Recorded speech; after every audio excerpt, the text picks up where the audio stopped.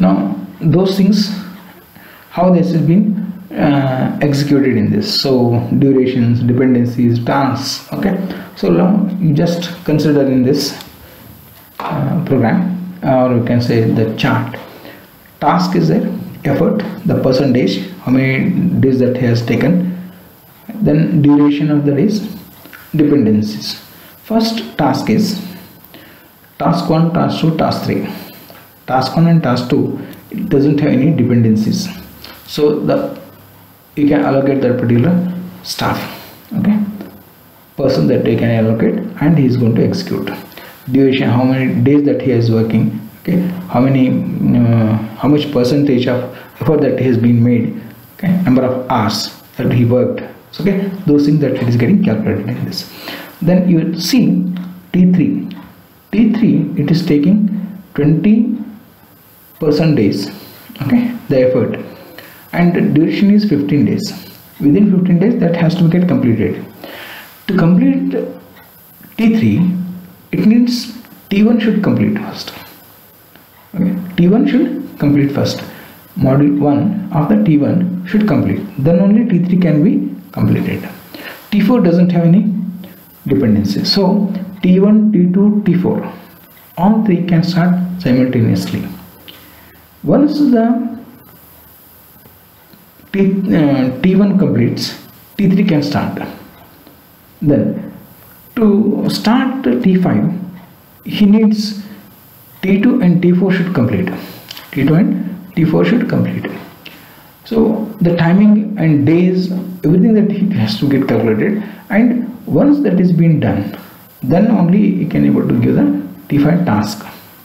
It's going to get started. Like that the till uh, 12th task if you are going to consider to complete that 12th task there is a deadline there is an end. So t10 and t11 must be completed. T10 and t11 must be completed. Now these are the tasks and durations and dependencies. It has been shown in this. So you are, now you have understood that this is one project. This one project. So now in this the 12 tasks are there and uh, how that is being scheduled that is being shown in this. Now it is an activity bar chart it is bar chart that they said. Here you will come to know that very easily uh, how it is dependencies are there how when it is getting started and all these things. Now you see that t1 t2 t4 all starts in the week 0 it started. The milestones as i said that is a rhombus marks are there those are the milestones it is going to be. Okay. So t1 t2 t1 is completed. T4 is also completed. When t1 completes t3 can start from the second week. So first week only t1 t2 t4 all peoples uh, are get allocated with the project. Then t3 after two weeks they'll come into the picture. Then t5 they'll come into the picture on third week t5 and t6 because by t6 so it is going to complete on the third week. On that week that uh, t5 and t6 uh, that they can start.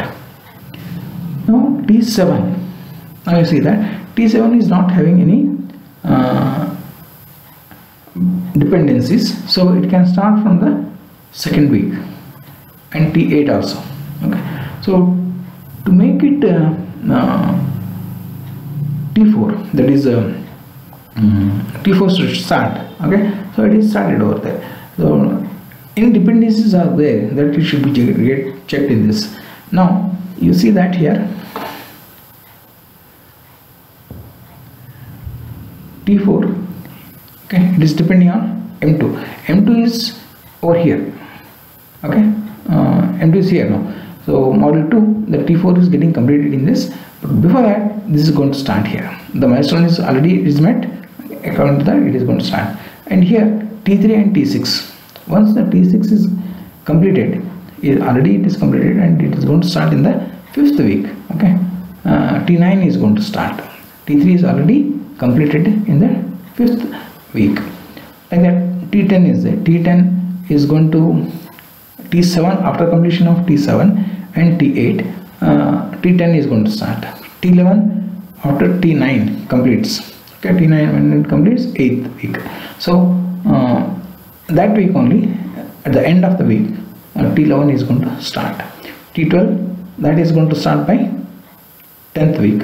Because T10 should complete for that and T11 should complete.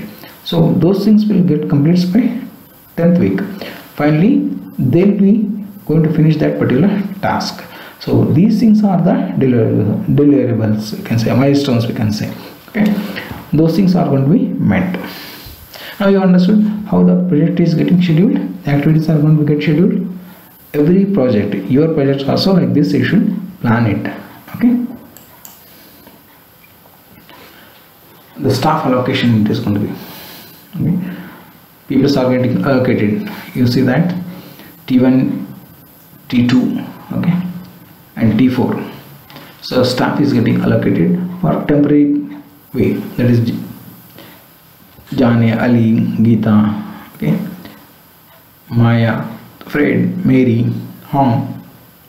So when first person is going to be he is going to get allocated with till nine weeks he will be there okay so um, then uh, ali is going to be there like in between that he is going to be removed and he is going to get added again. Okay. So like this the data is going to be get forwarded from the staff allocation. So everybody is not going to be allocated at the same time. So they will be going to allocate whenever that it is required. Then only they will be going to get allocated. See for this t2 Geeta is allocated at the sixth point only not the beginning. Okay. Partly she is going to work and then after it's going to be moved right? No. Project uh, under the project planning estimation techniques are going to be there. Estimation techniques are going to be there. Estimation techniques are how this uh, effort is going to get calculated. Okay? The cost is going to be estimated. So there are two techniques are there. One is uh, experience based techniques and uh, another is uh, algorithmic based techniques. Okay. So experience based techniques uh, the managers how, how much will be the experience based on that the salary will be fixed. And and uh, domain knowledge of that and the programming knowledge of that. Based on that thing that uh, experienced peoples they'll be going to get the salary for that. Then algorithm based uh, modeling or cost modeling it is going to be so here uh, exact uh, the programs will be there okay the size of the program that they'll be going to consider. And on that uh, price is going to be get fixes. Okay. How many lines of code that they have been written. So based on that the price price is going to be fixed. So some uncertainty that it may occur. Okay. So the cost is going to go beyond that. Okay. There is a x factor is going to be there so 2x it is going to increase. So or it may even down also. Because of some crisis that it may, is going to it is possible. Okay. So estimation is very very important thing. So it depends upon the uh, experienced peoples they can able to easily judge that what will be the cost of that particular product. By using this feasibility study requirements design coding and delivery. How much time that it is going to take. Those things that it, they will be able to calculate. That's what, that's what I said. So here basically uh, now you see that experienced uh, techniques okay? So it depends upon the um, project types and uh, effort is going to get calculated in that. And uh, how many deliverables that the uh, customer expects based on that it is going to be because within the short time okay the project is going to have will be get completed within uh, one one year means the uh, the expectation of the delivery or the modules delivery is going to be every month that he expects okay then the cost is going to be more. If the expectation is uh, half quarter year quarter year or half year then the cost is going to be get reduces okay. Depends upon the things it is going to be okay the effort is going to be get calculated based on the work that they have been done